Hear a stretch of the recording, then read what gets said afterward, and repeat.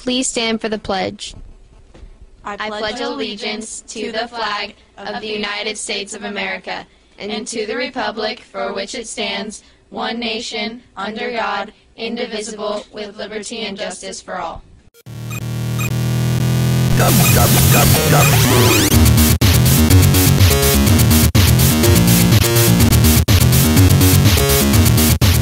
Good morning, Dons. I'm Nagashri. As you may have seen yesterday, the teachers and leadership students were walking around with your awesome shirts. Today we're going to start the show with a segment about some of the most awesome students here at Amador, the ILS students. These students are getting ready for a special field trip that they will be leaving for this weekend. You're probably wondering where they're going. Well, they are headed to London. Let's go inside and see what they are doing for their final preparations. Alright, hi, I am with Jeffrey here, and we're going to talk to him about his upcoming ILS trip to London.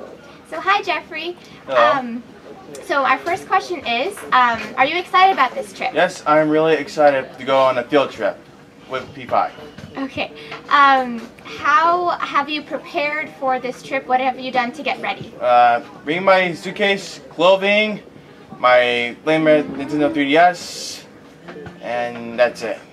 All right, perfect. Um, so, during the trip, what are you going to do there? Uh, go see the town, 10 Downing House, uh, the uh, uh, England, London Eye, uh, the bridge, and etc. Okay, that sounds really exciting. And when do you come back from this trip? Wednesday, March 27th, 2013.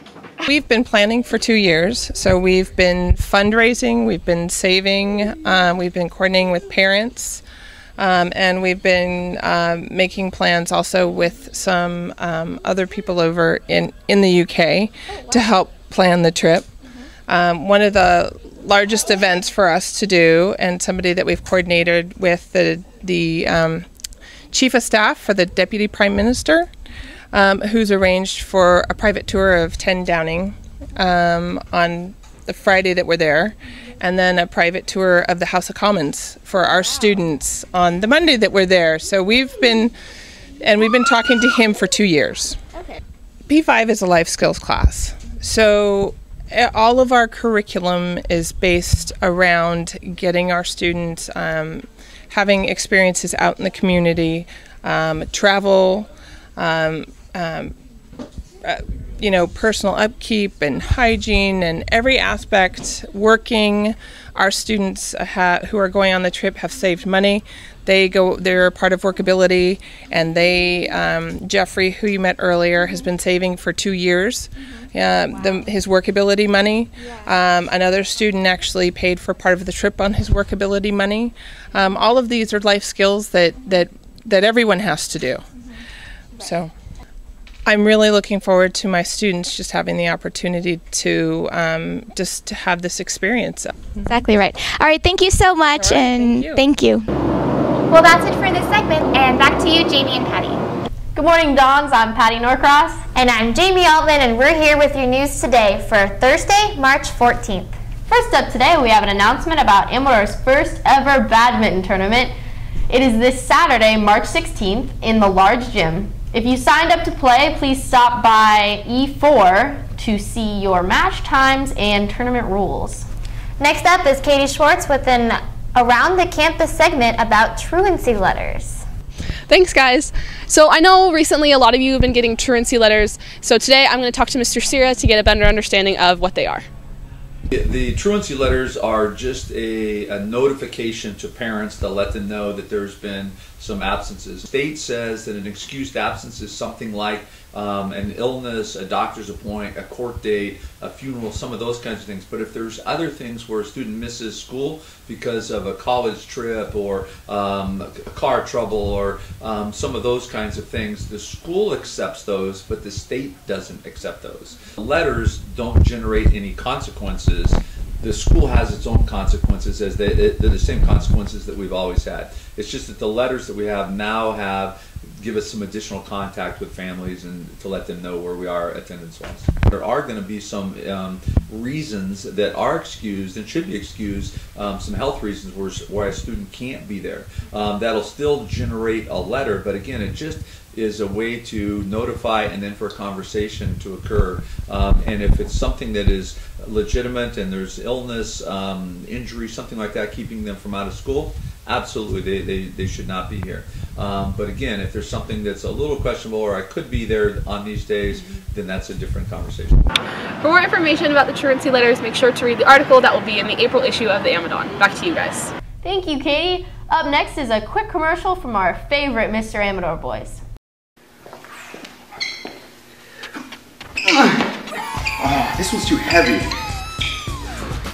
Ah! This one's too hot. This one feels good right here.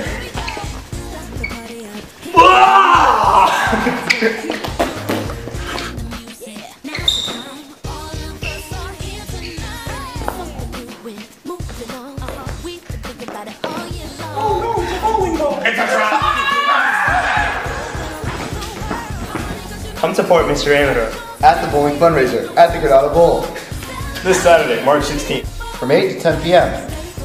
Tickets are on sale now. Tickets are $10 and not available at the door. So buy your tickets this week. You can get them from us. Or Jen Tribe or Claire Gomez.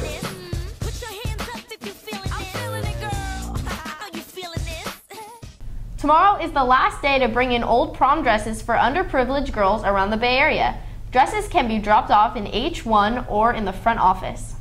And now here's yet another commercial.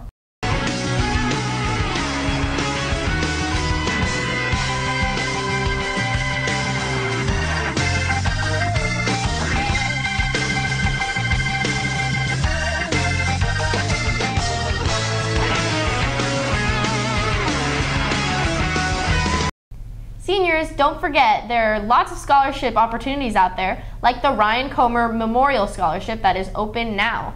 Make sure you head over to the counseling office and check out the scholarship bulletin board. Got skills? Don't forget there is a meeting tonight at the Carpenters Training Committee of the Nor of NorCal from 6 to 8 p.m. where you can learn about rewarding careers in the skilled union trades. Head over to the Career Center for more information. Finally, seniors, don't forget, the Where Are Our Dons Now webpage is launching tomorrow. So take your college acceptance letters to Mrs. Walker in the Career Center and get your name added to that list. Shout out to Mr. Sims for winning our Class of the Week. Here is the video that he and his class chose. Yeah!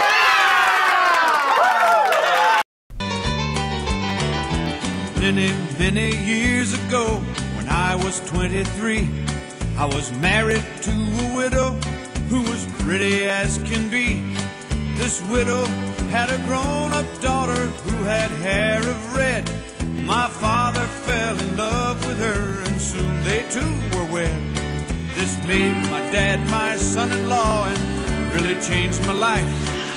Now my daughter was my mother, cause she was my father's wife. And to complicate the matter, even though it brought me joy. I soon became the father of a bouncing baby boy.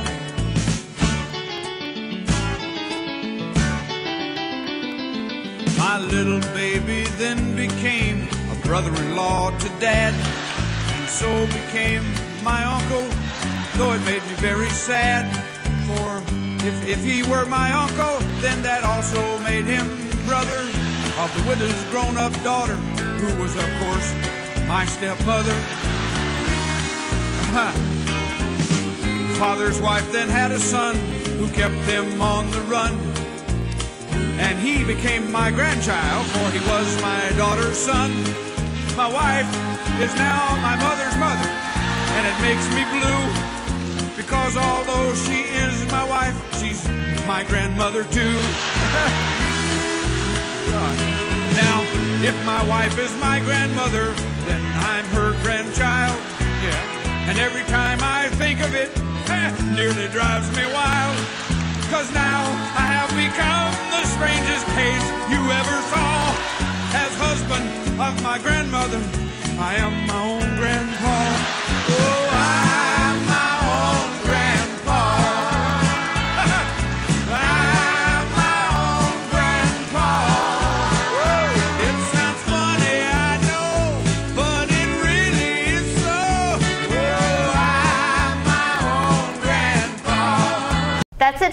Dons. Thank you for watching, and remember, it's always a beautiful day here at Amador.